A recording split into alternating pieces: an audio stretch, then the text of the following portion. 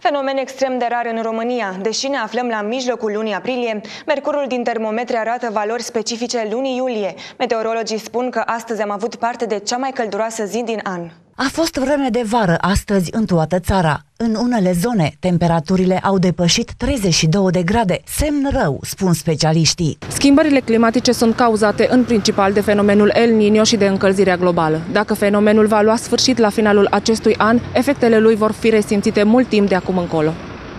La nivel global, temperatura înregistrată în luna martie a fost cea mai ridicată din ultimii 100 de ani, dar specialiștii se așteaptă ca în anul 2016 temperaturile să depășească toate recordurile. Nu poate decât să mă bucure, deoarece căldura îmi place foarte mult și aștept cu nerăbdare venirea verii. Nu prea bună, De ce? pentru că prea dintr-o dată s-o, s-o, s-o încălzit. mai agitat, mai n-ai poftă de mâncare, Contoh dekat apa?